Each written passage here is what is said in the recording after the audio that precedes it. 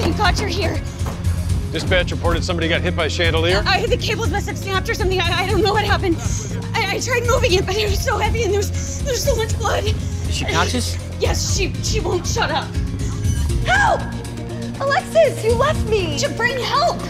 Just please get this thing off of me. Whoa, whoa, whoa, try not to move, okay? We're gonna get you out of there. All right, let's get a backboard and a gurney in here. Ah, yeah, Cap, this thing's penetrated the floor pretty deep. We're gonna have to cut it apart piece by piece. Buck, you're with me. Let's get saws and Nomex blankets. No sign of penetrating trauma. Can you tell us your name? It's Felisa. Felisa Valdez? You know me. Oh, yeah. Hey, nice to meet you.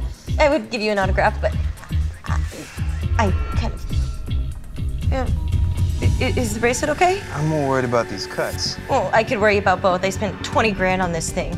It's supposed to be my lucky charm, but I don't know if it's working. Okay, try to take a deep breath for us. Can you tell us where you feel pain? Um, I don't, I don't feel anything. Wait, that's a good thing, right? Or is that bad? One time I was in a movie and my character couldn't feel anything because she was cut in half. One time stops, I saw that one. and uh, don't worry, all your limbs are accounted for. Just try to stay calm while we figure out what's going on with you.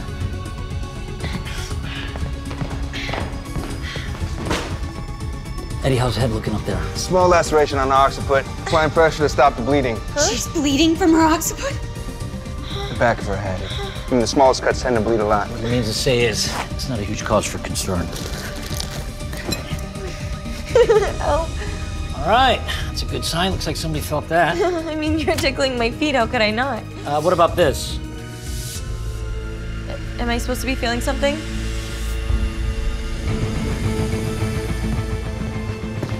Cap, reflex in the left leg could be a potential spinal injury. Is something wrong? She's not paralyzed, right? That would severely impact her future revenue stream. Paralyzed? Maybe that's not the thing we're trying to focus on right now.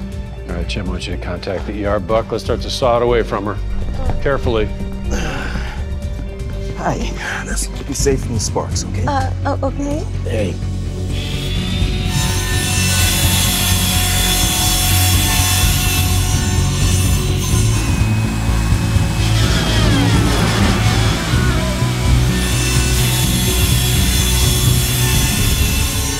On three. One, two, three.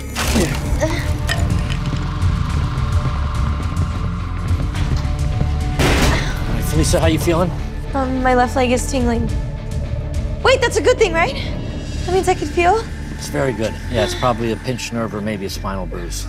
Thank God. See? The bracelet's working just like I said it would.